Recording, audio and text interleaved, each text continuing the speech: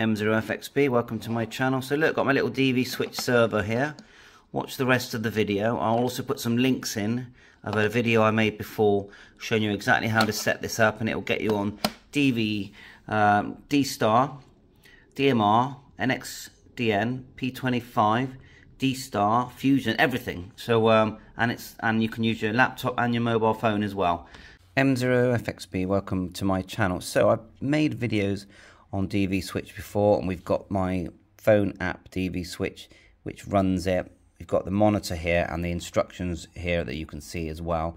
Now I have made a video how to completely set this all up quite a while ago and I've just gone back to it. All you need is a Raspberry Pi, a SD card and then all the software is free and there is a process which takes about, I don't know, half an hour to set it all up. Now we're just on parrot test here. We're listening on the laptop and the phone at the same time. So we'll just show you the parrot test. M0FXB audio test, M0FXB audio test. That's how we test parrot. Um, we can change from DMR D star fusion. Just hold down A. Like so. Look, DMR D star NXDN. You can hear my test coming through now. NXDN, P25, all that kind of stuff. There is a config to setting up the actual, if I go into the settings of my phone on the IAX app, DV Switch, these are the settings. So I've got the IP address, the port that you set, call sign, DMR number. You can test, change your transmit, receive. You select ULAW at the top, USRP. Now there's so much more to DV Switch. This is just one small part of it. You can actually link it to your All-Star node. But anyway, once you've set it up properly, it will say registered, uh, like so. And then you can uh, have contacts using your mobile phone and it is perfect connection, perfect audio. And if you, because Android phones, you know, Galaxy phones have such good microphones, once you set the right gain level, that the audio is perfect. And then you get this quite nifty monitor here that if you set it to receive, then you don't actually need the app. You do need to keep the server running, which is a Pi, and I'll quickly show you that. Um, and then you can just sit and listen to all these different modes, and you get a, a nice nifty dashboard. And look, you can click the click the call signs, and it goes to QRZ. So I find it really just fun, and because you know it's it's just tinkering and having fun. Now, if I want to connect to Talk Group 91, we can just type in 91 send and it will switch.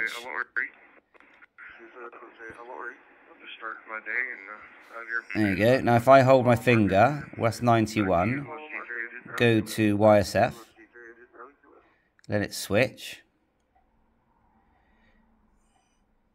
Like so. It switches to YSF. Then we hold down the B. It's been a while since I've done this. Let's choose one, CQUK. And if someone's there, you'd hear them or you can PTT. Just tap the PTT. And it, look at the dashboard up there. Now, oops. Um, but we wanted UK, so let's try again. Um, CQ UK, that's the one we wanted. So let's do a test. So we'll click send to make sure we're connected. And look at the dashboard up there. Now we'll try again.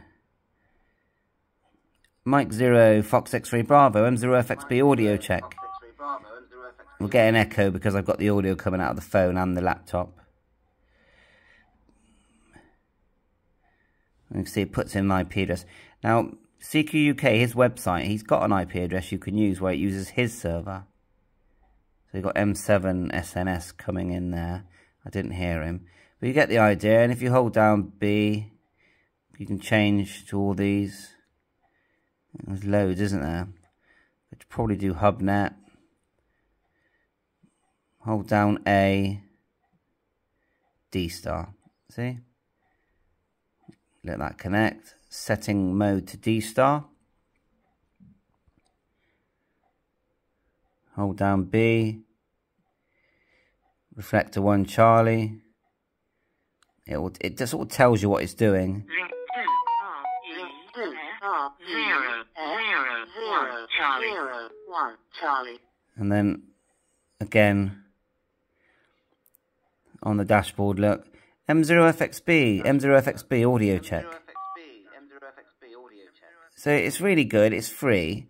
Any help you need setting it up, just message me and I'll, I'll, I'll, you know, I'll send you the video and then I'll just give you key pointers to help you set it up. You can see it's got my DMR number here, call sign. This is all part of what you register. I'm going to quickly show you the uh, the Raspberry Pi to show you how simple that is. So there it is, just got an SD card in there. I think it's 16 GB. It's an old Raspberry Pi, and you can use Pi 0, Pi 2, you can use, you know, it doesn't take much power, uh, computing power. I've done it Wi-Fi, you can set up Wi-Fi with it as well, just by putting in a WPA file from the Pi-Star builder, or you can use your Ethernet. And just leave it there chugging away, put this in a case, uh, and uh, just let it chug on. So thanks for watching my channel, and uh, have a go. Bye for now, 7-3, all the best.